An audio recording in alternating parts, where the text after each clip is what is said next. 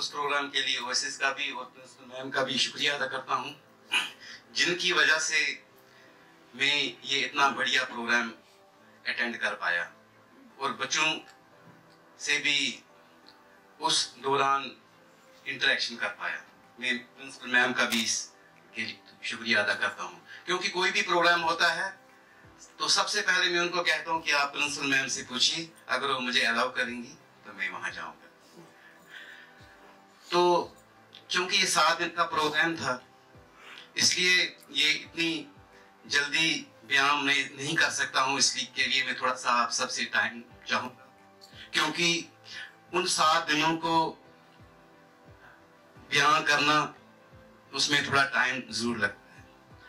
तो मैं पहले दिन की बात बताऊँगा कि हमें नाम पता था कि फ्रेंडशिप कैंप है।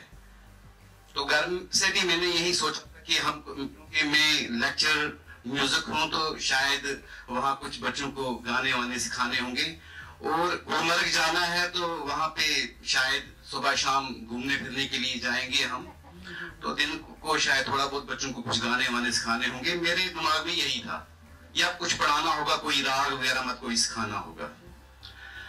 तो पहले दिन बच्चों को हमने वेलकम करना था। अब बच्चे थोड़े लेट आए तो थोड़ा उनको मतलब भूख वगैरह भी लगी थी तो एक बच्चे ने कहा कि हमें बहुत भूख लगी है। अब मैंने मज़ाक में कह दिया, क्योंकि फ्रेंडशिप कैंप था तो मैंने मज़ाक में कह दिया कभी कभी मतलब फास्टिंग भी करनी चाहिए। वो थोड़ा हेल्दी था। उसको थोड़ा बुरा भी लगा शायद।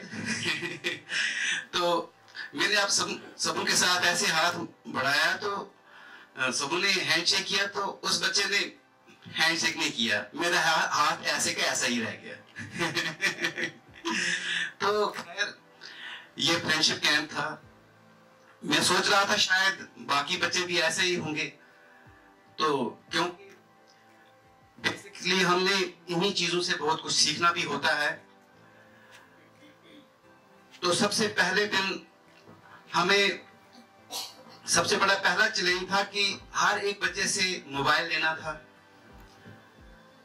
जो मोबाइल आजकल के बच्चों को बहुत प्यारे हैं, क्योंकि एक का लाइफ लाइन बन गए हैं मोबाइल्स तो बच्चों से मोबाइल लेना ये बहुत बड़ी बात थी, क्योंकि बच्चे शायद ये सोच के आए आए थे कि हम यहाँ के नज़ारों का फोटोग्राफी लेंगे और अपने माँ बाप से भी कन्वर्सेशन करेंगे, उनको ब्यूटी का बताएँगे, क्योंकि बहुत सालों के बाद वो बच्चे भी आए थे। मेरे घर में पहली बार बहुत सारे बच्चे आए थे। और ऐसी जगह पर जो कश्मीर की खूबसूरती को बयान करता है लाका गुलमर्ग, जिसका मेरे ख्याल में सबों ने सुना होगा। जी। तो खैर, उन बच्चों ने तो मोबाइल बहुत सारे उन्हें सबमिट कर दिए अपने। और दूसरा चैलेंज था कि अब हर कोई बच्चा है, वो अपने डिस्ट्रिक्ट के बच्चों के साथ रहना चाहता है। क्योंकि उनके साथ दोस्ती है तो हर बच्चा अपनी चॉइस से रहना चाहता था। मगर ओएसिस का एक पहले से ही प्रोग्राम था कि अपने अपने डिस्ट्रिक्ट के बच्चे नहीं रहेंगे अलग अलग किस्म के बच्चे रहेंगे मतलब दूसरे डिस्ट्रिक्ट के साथ रहेंगे। एक ही डिस्ट्रिक्ट के बच्चे एक रूम में नहीं रहेंगे। तो ये भी बहुत बड़ा चैलेंज था। मैं अपने अपने मन में भी सोच रहा था, शायद क्या पता क्या हो जाएगा। एक तो हमने मोबाइल भी ले लिए, दूसरा इनको अलग अलग बच्चों को रहना है तो ये भी एक प्रॉब्लम है। तो लेकिन फिर बाद में बच्चों ने मान भी लिया। हमने जुड़ी भी उनकी बनाई और उस पार्लियामेंट सेशन में बच्चों ने खुद ही फैसला किया कि हमको कैसे रहना है, क्या करना है। जो भी प्रॉब्लम है, हमको खुद ही सॉर्ट आउट करनी है। तो शाम को डेली पार्लियामेंट में हर बात जो थी वो डिस्कस होती थी। किसी को कोई प्रॉब्लम होती थी, वो उस जो सजेशन बॉक्स था उसमें वो कंप्लेंट वगैरह डालते थे। तो जो शाम का जो पार्लियामेंट सेशन हुआ करता था, वो बड़ा इंटरेस्टिंग हुआ करता था। कश्मीर से जो अलग अलग गवर्नमेंट ने अलग अलग डिस्ट्रिक्ट से बच्चे भेजे थे। तो एक दूसरे को जानते नहीं थे कोई भी और कुछ भी ओरिएंटेशन नहीं था किसी भी बच्चे को। ऐसा ही लगा था कि घूमने फ्रेंडशिप कैंप है तो घूमने ही जा रहे थे। वो इंटेंशन थे आए थे। और दूसरा कि वो पसंद भी नहीं करते हैं दूसरे के डिस्ट्रिक्ट के बच्चों के साथ मिक्स होना। तो वो प्रिफर करते हैं कि उसके डिस्ट्रिक्ट के बच्चे हैं उनके साथ ही रहे। तो ये बहुत बड़ी चैलेंज थी एक वहाँ पे। लेकिन आहिस्ता आहिस्ता उन बच्चों में उन बच्चों में इतना प्यार बढ़ गया मतलब दूसरे डिस्ट्रिक्ट वालों से, जो दूसरे बच्चे जिनको जानते भी नहीं थे वो। इतना प्यार बढ़ गया कि वो एक दूसरे के बगैर रह नहीं सकते थे। तो ये सारा जो कमाल था, ये ओसिस का था। मैं समझता हूँ। तो क्योंकि इसका नाम भी है ड्रीम इंडिया हम कभी ट्रेन में बैठते हैं तो जैसे कोई हमें नहीं जानता है तो हम बस अपने बैग को भी पकड़ के बैठ जाते हैं। क्या पता ये किस किस्म का होगा। तो ये कैंप जो है ये मेरे ख्याल में ड्रीम इंडिया इसका बहुत अच्छा नाम दिया गया है क्योंकि ऐसा वक्त आना चाहिए पूरा इंडिया ऐसा होना चाहिए कि हमें एक दूसरे से डर ना हो। हाँ, हालाँकि अगर मैं बैठता हूँ ट्रेन में मुझे दूसरे का डर होता है और उसको मेरा डर होता है। मतलब एक हमें मतलब एक दूसरे पे फेथ नहीं होता है। तो ये जो कैंप था ये मेरे ख्याल में ऐसा इंडिया होना चाहिए, मैं तो यही सोचता हूँ। तो जो शाम का पार्लियामेंट हाउस था, उसमें बहुत सारी चीज़ें डिस्कस होती थी। एक वाक़ा में ज़रूर यहाँ पे बयान करना चाहूँगा। एक बच्चा, दो बच्चे, एक रूम में सिगरेट पीते थे। और एक दो बच्चे थे, वो अब उनका बर्दाश्त करते थे।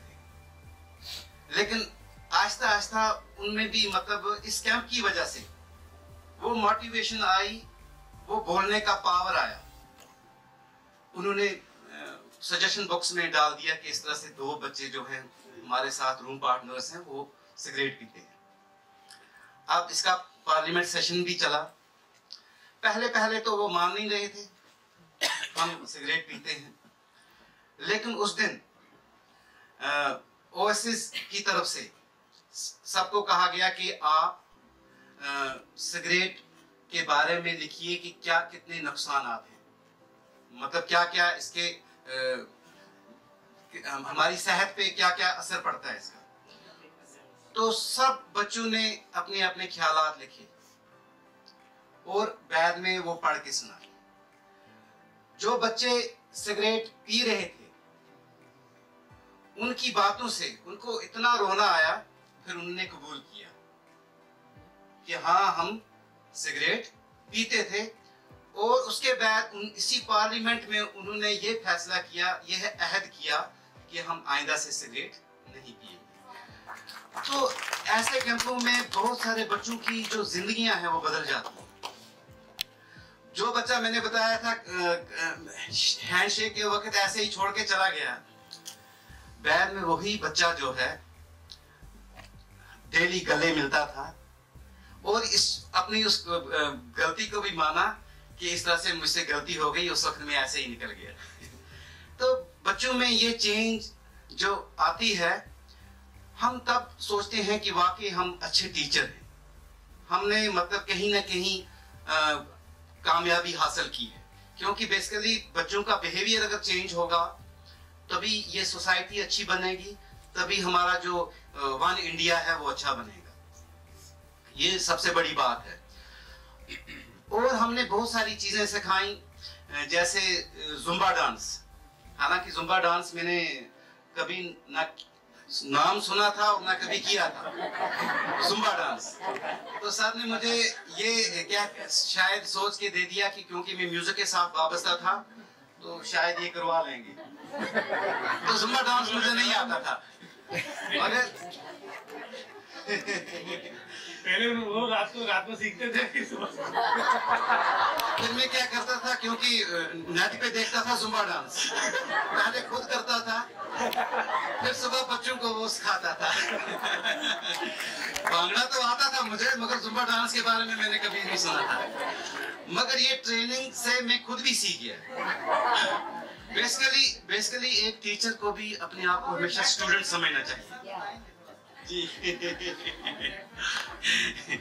तो एक्चुअली वहाँ पे चैलेंज ये थी कि वो जो बच्चे काफ़ी रूरल एरिया से आए थे तो काफ़ी सारी चीज़ों का एक्सपोजर ही नहीं था कि ये चीज़ क्या है क्राफ्ट क्या है। काफ़ी सारों ने कभी भी अपने नाइन्थ के बच्चे थे लेकिन कभी भी ड्राइंग नहीं किया था।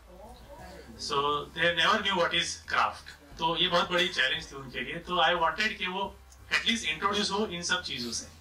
And if you see the drawings and paintings they are made लगेगा नहीं कि पहली बार उसने क्रेयॉन्स या फिर कलर हाथ में से मतलब ज़्यादा मैं शुक्रिया अदा करूँगा विरल भाई का, जो जिस तरह से ये प्रोग्राम ऑर्गेनाइज करते थे, हमें पता ही नहीं चलता था कब क्या हो जाता था। ये है कि बच्चों में कितना टैलेंट है। और टैलेंट को उभारने के लिए